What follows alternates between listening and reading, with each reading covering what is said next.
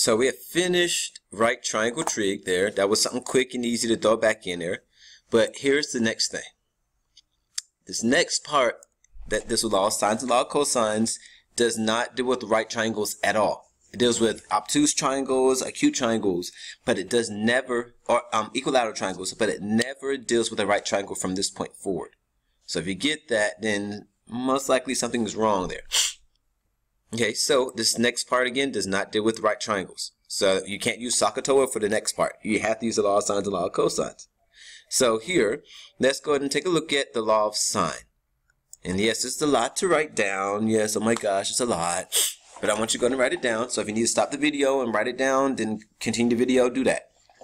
But I'm going to keep going. So here, we're going to, the law of cosine, uh, sorry, law of sines, it's used in certain situations. So you don't use this all the time. There's certain situations that it happens. So you use the, um, use the law of sines for triangles that are other than right triangles. So like we just said up top, to find a side or an angle. The best, this is best used when you have, and let me highlight these parts because you might want to do highlight yourself also, but this is the important part that you need to know. So when you have two angles in the side, or you have a side and an angle of the same letter. So let's, let's say this one more time.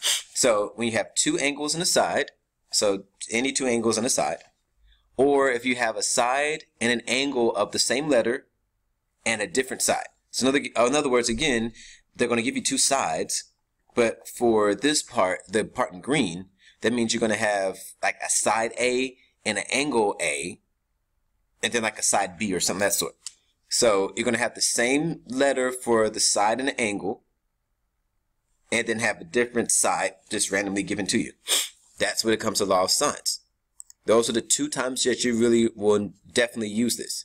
And we're going to go ahead and look at um, um, examples, one with the two angles and a side, and one with the the um the a side and an angle with the same letter and a different side. But here, um, I don't think I gave you the law of sines yet. So let me go ahead and give you the law of sines. That's the part that's missing right here. I don't know what happened. So here, let's go ahead and do law of sines. Now, depending on what book you're dealing with or what you're, what you're looking at, the formula can be look, look different. But again, the formula is going to be given to you on the final exam on that formula sheet. So underneath the arithmetic sequence of series and geometric sequence of series, Underneath that, it's a law of sines and law of cosines. So again, it's given to you on the final exam on that formula sheet. And here's the formulas.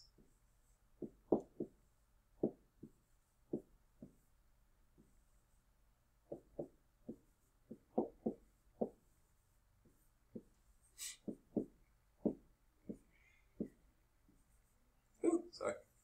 Well.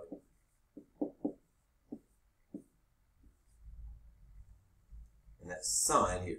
Now, each one of these, it is sine of the angle over the side equals sine of the angle over that same side over sine of the angle over the side. So the A stay together, the B stay together, and the C stay together. So sine A over A equals sine B over B equals sine C over C. And with this, whenever you do the law of sines here, you're only dealing with two fractions at a time. We're only dealing with two fractions at a time.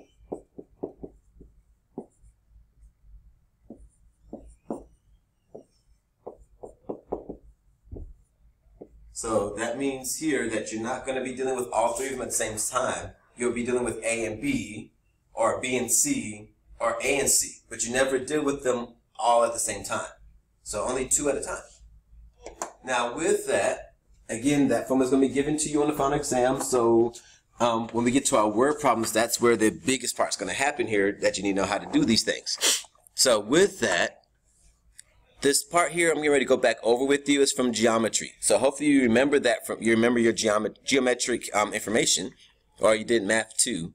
Um, so a reminder here that whenever we're talking about um, when it comes to triangles, whenever we're talking about a capital letter, that's an angle.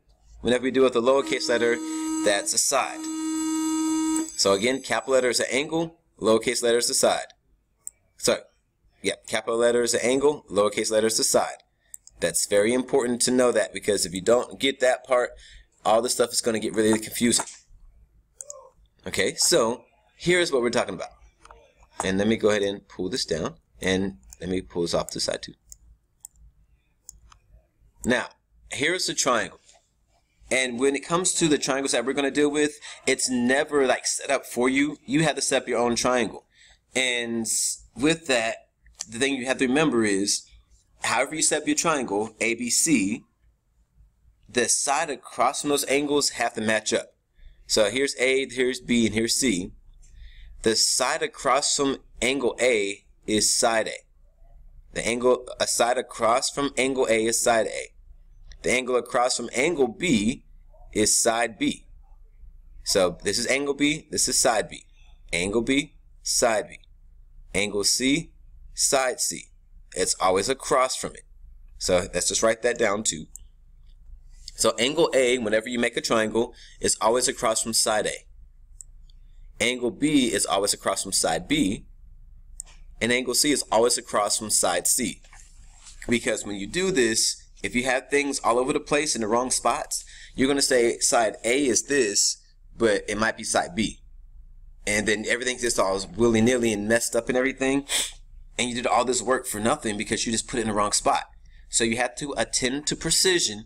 So you have to make sure you have everything in the right spot. If not, you're going to get the whole thing wrong. So you must have things in the right spot. Okay, so that's not bad, I don't think. And again, here's the law of sines again. And again, that just repeating what I said earlier. When dealing with the law of sines, we only have two fractions. So this part here from the law of sines and down, you don't have to write again unless you want to. You don't have to write it down unless you want to. Alright, and so here's what I was talking about earlier when I said you only do it with two fractions at a time. And I, if you look at it, I flipped it because some books actually flip it where they have the side on top and the angle on the bottom but it doesn't really matter. It's still the same fraction. So it doesn't matter whether you use the, the these up here or to use these down here. It doesn't matter. They're the same thing. So don't get confused. And hopefully you are listening to this and not just watching it because listening is important. So here again you're only using two two um, fractions at a time.